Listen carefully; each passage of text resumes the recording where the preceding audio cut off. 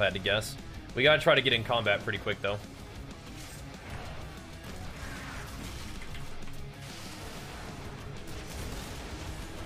Hey, Rogue.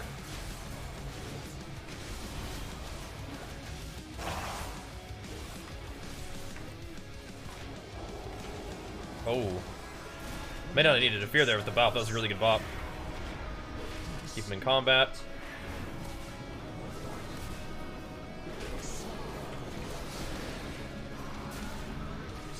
Nice. Just absolutely did not let them do anything to us in the opener there.